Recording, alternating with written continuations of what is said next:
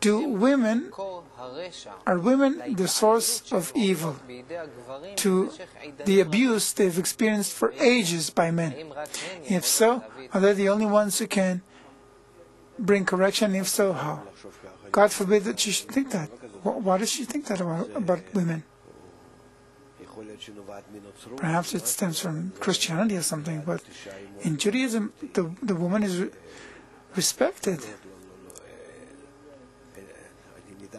I don't know, I'm amazed to hear it. A woman is not to, to blame for anything, that because of that the evil comes to the world. It has nothing to do with Judaism, God forbid. According to the wisdom of Kabbalah, we need correction, and men need correction more than women. That's why the man says, Blessed is he who didn't make me a woman. Why did he say that? Because he's got more to correct. The man has more to correct. The man has a lot more qualities that are corrupted and desires bad desires that he has to correct than to a woman. A woman is much closer to nature. We see how it works in this world. Women do less harm than men. She has less nonsense on her mind. If women rule the world, I don't think it would be worse. I think the world would be running much better. But because we have to correct the world, men rule the world, so we would feel the evil in the world and correct it. That's why men rule? To bring us to a catastrophic state? Yes, exactly. Yeah, of course. And women? Women would manage the world much better than men. We can see it happening. That's why our basic cell unit, the family, is run by women. Because at least here we get some order, some tranquility, some order, some proper treatment. Just imagine that tomorrow, instead of women, men had to take care of the children and family and everything. Would, would, would it work? Can you can you handle it even if you get 24 hours a day? No. What do you do? You're playing around. When women work really hard and do everything very thoroughly, with love and, and, and truthfulness. So I don't know why she took this approach. No.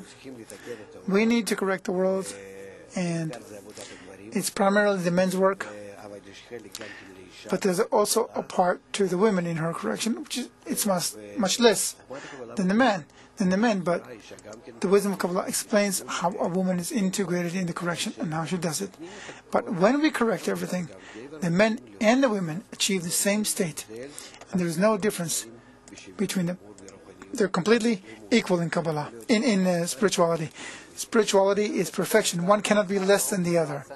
You mentioned the, the blessing, blessed is he who didn't make me a woman. And there's the woman's blessing, blessed is he who made me as his will. What does a man say? Blessed is he who did not make me a woman. And what's the consent of a woman? What does that mean? Blessed is he who made me as his will. It's not bad. It's because the man fell from a very high, lower, high degree in spirituality to a much lower um, degree in corporeality because those who were higher fall deeper. That's what happened to the men. Actually, to Adam Rishon, he fell much, much lower. And a woman, the woman seemingly less fell less.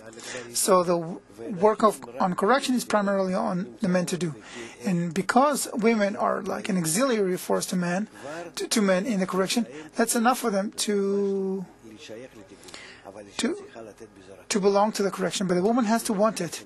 As it says in Mount Sinai, there was the mountain of Sinai, there were men, and around them there were women. And the women gave the strength and the desire. They're the ones who pressured the men to make the correction happen. And then they were rewarded with the Torah.